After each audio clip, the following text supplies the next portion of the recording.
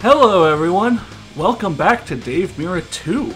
Uh, I'm Insetik, with me again is Blank Tester, Hey, how's it going? and this is kind of a throwback considering, well, I did an LP of the PlayStation 2 version of this game almost five years ago, but the other versions of this game for other consoles, Xbox and GameCube, have two extra levels that, that the PS2 version doesn't have, and I never got around to showing off those. So now it's 2017, and uh, I'm back to Dave Mirra 2 on the Xbox, and um, I'm going to show the two off. So this first video is going to be over Greenville.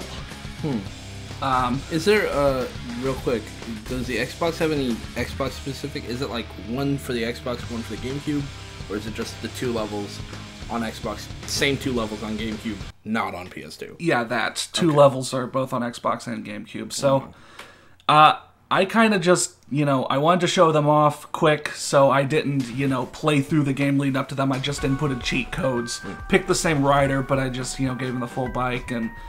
You know, kind of like in the, you know, kind of like in my normal videos, we're gonna show all the challenges in the level, but I just gotta say, maybe it's the Xbox version, but it's probably just Dave Mirra 2. This was not a game I was easily able to just pick back up and play again. I mean, I was about to say you seem to be doing fine for those first couple jumps, but it wa- once I actually try to start doing technical stuff, man, it, I forgot how clunky this game was. Like, this is going to be the opposite of how you, you know. Like, I, I just went back and finished my Amp One LP, you know, showing off the final cinematic or whatever.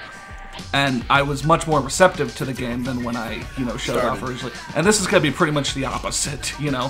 When I showed Dave Mirra 2 off in 2012, you know, it was a game I remembered as a kid, fondly as a kid, because as a kid, you know, everything you worked crazy. Yeah, you. you worked with what you got. Yeah. And if you played garbage games as a child, you have mostly yeah. nostalgia for those garbage games.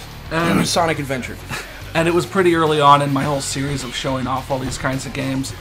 But now I have, you know, a much broader knowledge of what games were able to do back then. and what games are able to do in general. And yeah. this game is so fucking clunky. Like, Yeah. maybe it is also the Xbox, because, like, the D pad, way better on the PS2, obviously. So, like, trying to hmm. slow down, skid or slow down or do specific tricks, it was, like, really tough. Like, one of the um, goals in this is going to be, like, do a specific trick over a jump, and you're going to see I do the wrong thing, like, five times in a row. Not because I don't know better, but. Here's why I think these levels weren't on the PS2 because they have interactable parts of the level. Oh, physics stuff. Yeah. And Weird, maybe. I haven't checked the other levels. Maybe there's stuff in the other levels that are in at least Xbox or. GameCube version that the PS2 had to take out. But I don't remember any interactable parts in the PS2 levels that weren't part of a goal. You know? Huh. Like if you hit something and it would disappear or fall over or something. Like the PS2 would have those, but I don't think it would have anything like those tables and chairs that you could hit. Hmm.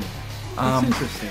I I was never under. I mean, I was always under the impression that the, the original Xbox and the PS2 had pretty comparable power. It's just that the PS2 sold a lot better and uh, a lot more. There were many more games for the PS2. Well, you mentioned before we started that like there's a few other games where the PS2 version was actually stripped down. Right. Like you mentioned Resident Evil 4. Yeah, when my, my brother played Resident Evil 4 for the first time on GameCube, and like I remember we got halfway through the game, and then there's this there's this moment where it says, "Please insert disc 2," and I was like, "That's." This, why did they put? Uh, why did they just make the disc so small that I could? I, I mean, I bet the PS2 Yeah. version has a lot more content. And then I looked, and like the PS2 version has a way less content. There's like an entire side story that's just not in the PS2 game, and like. It, I, I don't know. There's a bunch of content that was. I thought that was Yeah. like Resident Evil 4 specific, but it sounds like there are more games that that's the case. Like- that's weird. I think Dave Mirra 2 came on one disc for the GameCube and it had these two levels. Hmm. So So it's not even a space restriction there. It sounds like maybe some kind of technical. maybe it is like a performance thing because all I can think of is that the, I don't remember the PS2 version having those interactable objects. And I mean, like again, you played the PS2 version when you were a kid, Yeah, right? Yeah. and you enjoyed it as a kid. So leaving those two levels out did not. I mean, I think putting those two levels in would have probably just hampered your opinion of the game. They would have. It would have just been like, oh well, ninety percent of this game works just fine. As a um, little kid, you thought that. But I, I do have to say one thing, and we've got the volume pretty low so the mic doesn't pick it up. So I, you know, I can't hear what the music track is. So I'm trying to do like a oh yeah. ta- I'm trying to do like a tail whip backflip, mm. and I'm, you know, that's that's back. you know downright down, and I just keep hitting the wrong things, you know, like, Yeah. um, but. In the Xbox version, uh, there's the song "Paranoid" by Black Sabbath, Oh. which is in all versions. But in the Xbox version, every time it plays, the game freezes up for a second. It doesn't completely freeze, but as it's trying to load the next music track in, the game freezes up for a second. Huh. So I don't know where you'll you'll see that somewhere in here. I forget where it plays and I can't hear it, but you will see that. Um, That's odd. Yeah, That's really. I don't remember that in the PS2 version. I don't know like- why that would like happen. literally, there's something with the song "Paranoid" where when it ends, the game just bungles up for a second trying It, to. it could even be disc specific. Like maybe on another disc it wouldn't cause that issue. Yeah, maybe. I, I don't know. We, we don't know without knowing, without Yeah. checking. But uh, And we're certainly not going to check. yeah. But to get to the level, so Greenville, South Carolina, actually. Um, Wait, South Carolina? yeah, I think. I'm pretty sure it's North Carolina. oh, did it? I think so. Yeah. Okay, well. Oh, yeah, yeah, yeah. But anyway, Greenville, uh, just like all the other levels, a huge level. Like, well, you know, the, the levels in Dave Mirra 2 were so massive. Yeah. Which, again, might have worked better if, you know, the physics worked better or such. But, And I mean, again, it's massive without being, uh, it, to the game's credit, not without being empty. yeah, There's like. plenty of stuff to do. There's which is nice. Yeah, they definitely separate the different sections pretty well. Like there's kind of that suburbs area. Yeah. There's more of like an actual BMX park in here. Because like sometimes we'll play we'll, see games where like uh, uh, you know it's a huge level massive level and then like everything is 300 feet apart so it's like Yeah. great i have a ramp and nothing Uh, I, I remember some of the other and levels. this game doesn't do that Well, well, I remember some of the other levels in Dave Mirra 2, m- m- maybe getting kind of close to that, like that first level, Woodward Camp. You Hmm. Oh, yeah, yeah, there was one- kind of just that side of the level where there was nothing. Yeah. There was just kind of road connecting you but back up to the top. Um, but yeah, I mean this. I mean usually like city levels in games usually are able to find a lot of things for you to do. That's true, And. I haven't even gone over to the college campus part of the level Yeah. yet. Like, I won't say a whole nother half, but there is a whole nother third. I haven't shown off, but uh. So this challenge, you got to get up in the coffee pot and then do a 720 no hander, which I think I'm either gonna fast forward or like fade through, but uh. This is an example of something where it's a little tougher than it should be, like actually jumping in. um, I mean, I get second try, but again, this isn't the first time playing it. You know, I played through, made sure I knew where all the challenges were, knew what to do, could do them, could do them, and then, you know, hit record on the second time. But it was still like, whew, yeah that's one heck of a trick kind of crashed a few times trying to get into the coffee pot, and uh, it was like, what the fuck? Why can't I just ride in? Like, you have to jump in over this tiny little lip. yeah that's odd i would have put like a little ramp in there Yeah, like I, I I don't know. With this game, you just need to take more time doing everything. You know, like go back and forth quite a few times to get the air needed, or like pause and get a running start to jump up into a thing. And again, after playing so many other games that aren't even the best of the best, I haven't even you know touched the Tony Hawk games on this Right. channel or whatever. But after just seeing what a lot of other people can do, a lot of other game development studios on a lot of other games around this period in time were able to make something that seemed to flow better. Um, like here's a challenge where you have to wall ride certain sections, and wall riding in Dave Mirra 2 was always super spotty because either you would like straight up get a 20 foot jump and just float, or like you would jump like an inch and ride the wall a little bit. Like you half the time you jump that's and a ridiculous job half the time you jump, go to wall ride, and like then bounce off the wall Yeah. and not actually do anything. Like I'm I'm I'm making the game work with me. I'm not working with the game here. Hmm. Uh, um, yeah, like that. That was that was an example of all three things: the moon jumping, one inch jump, and the bouncing off the wall. You just Yeah, yeah. Like, whew. I, I mean, yeah. I, I basically kind of have to force something like this. Hey, look at that. He's got like legs like fighter jets, but sometimes he just Yeah, like, like- takes a little wimpy jump. You can't even use the ramp. Like I try to use the ramp and I get the one inch jump. But that then, is a lot of physicsable objects. But then off the ground. Yeah, yeah. wow. Yeah, it's kind of like off the ground. You get kind of more of the moon jump. Yeah. Uh, but yeah, just like all the other levels, there's you know the or initial. Um, sorry, hold on a sec. I'm kind of losing my train of thought. There's the initial score challenge, and here in the Xbox GameCube, this is the fifth level instead of the water park. So it's right in the middle of all the other levels. So you got to get 50,000 points, and then you do that. You explore the level, and then you get like what is it, like amateur, hardcore, pro, or hardcore, pro, insane. That was it. And I remember in the, in Dave Mirra 2, as you went along, the bullshit challenges started happening sooner and sooner.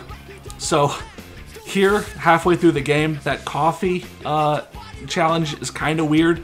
But then here in like the pros or like tier three, this is where you really have some bullshit. Like grind the four acclaim banners, and oh my god, this one is like so weird trying to get. Uh, again, not Oh, my and then they respawn you at the bottom, so you have to ride all the way back up. again not my first time i mean kind of interesting how you know like y- you got to smash the soda machines as well and when you go to smash that one it's right next to a gate you can break and Yeah. that's how you get onto the roof That's awesome. like you know that's know good game design. that's good game design because otherwise you might not know hey you can smash the gates by running into them yeah. uh, so like your momentum just kind of carries you into it Yeah. Um, you'd have to come in and then stop, and then rotate around the side, and then like you'd have to try to miss the gate. Like, I, I seriously have to say, every time I'm slowly riding backwards trying to stop, like, that's me trying to stop. Every time I'm slowly riding backwards and fidgeting around and just mm. wanting to turn around, that's me not having control Yeah. of the game. Like, that's just, again, something I have to point out where, like, ugh, like other bike games, you know, you're able to, if you want to stop, can turn around and go somewhere else. You can easily do that. But yeah, cutting out a bunch of attempts, uh, pretty much, because I had to get it down to a point where I was like, I gotta go for this first, and then if I get that, I can go for these other things. That yeah, that makes sense. Because like, I want to waste as little time as possible. Like, if I'm, if, If I, you do that one last and you fuck it up, then you better go. You have to do all of them again. Yeah, right? if, like if I miss that banner twice, I'm just restarting. I mean, I don't have the time to hit everything else. yeah. Oh, I think Parano- yeah, Paranoid's playing, so pretty much at the end of this run, uh, you'll see the game freeze up for a second.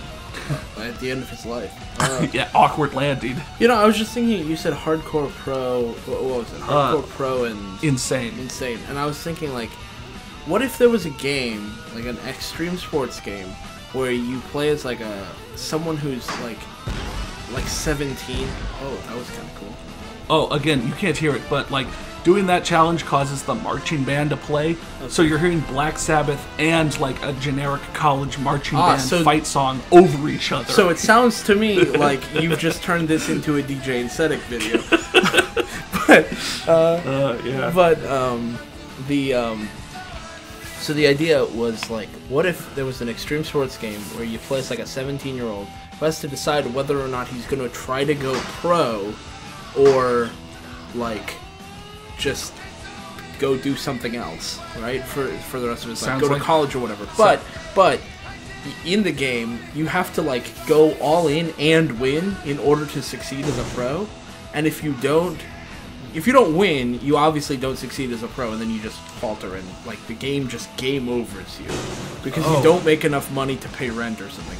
But if you uh, if you don't go all in, then the game game overs you early because you did not try to become pro, and instead you get like a menial job. There we go. Wow, that's a lot of Like straight up, as the song ends, it freezes up for a second. but- weird.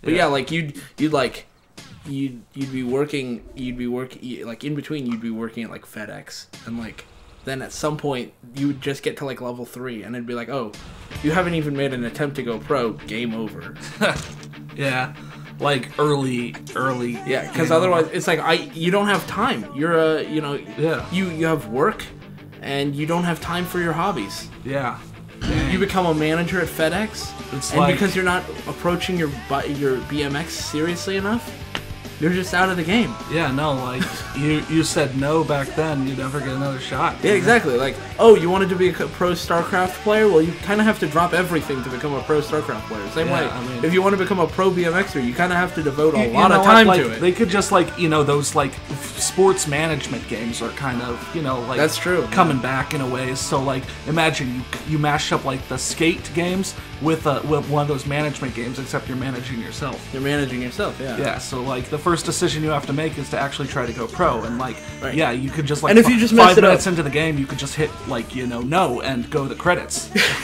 Yeah. um, You could and like you you make decisions along the way. It's like how much time do you want to spend this week Yeah. working, and how much time do you want to spend on your BMX? And Yeah. like you have to manage not just how much money you have, you also have to manage how you, how your parents feel about it because like Oh, you know your parents are like, yeah, you need to be working, and it's like, well, I'm working 20 hours a week.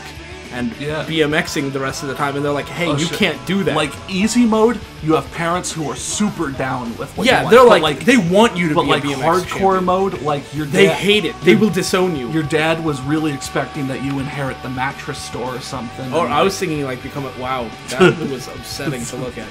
Um, like you know, he he's like, if my son's not a doctor, I don't have a son, and you're like, wow, dad, that's mean. yeah, Like, uh, come on, like I have a dream, and he's like, I don't care about your dream. yeah. So Your like, dream means nothing to me. like then easy mode like can come with benefits like your parents help fund you get you started but then like hard mode you know your parents don't help you out at all and so you know obviously hopefully you know how to play the game because you know Yeah. you don't just dive in on hard mode right, and then um, of course the rewards at the end, like you'd win some kind of unlockable. except you'd never win your parents affection No, no. Your parents' affection on hard mode, you win never win your parents' affection. Like on the hardest difficulty, you they just disown you and you never talk to them again. Like, and you can there's like a button to try to contact them, and it's like this, they did not pick up. dang That's Like, or like after after a few That's levels, fucking sad, after a few levels, it says this number has been disconnected. oh shit that's fucking sad fucking like mental crises in your extreme sports Like it's on, still on the menu, right? Yeah. To like call mom, Yeah. call dad, and like if you go down there on easy mode, it's like, hey, how you good? How you doing? Yeah. You- oh, I saw your big win. Blah blah blah. But like if you Hard if you mode on hard mode, grayed out. they're just no, it's not even grayed out. You can still select Oh. it, uh, and you'll hear like the ringing noise, and Oh, it'll just go to answering machine. Meanwhile, since you're still on the main menu, you're hearing like a modern pop punk song, you know, for the menu music, you know. like, I don't want to grow up, and like Yeah. he's the, the dad. What's my age again? What's my age again? like, you- hey, you've reached uh, Dennis. Uh, uh, you know, you know. Leave a message, Leave a message. unless you're my son. Unless, unless you're, unless you're. Look like voice vocal All right, stitching. well, so that was Greenville, and then next we're gonna show the other uh, level that wasn't in the PS2 version. We're gonna show Venice. So thanks for watching. I hope you enjoyed this, and we'll see you then.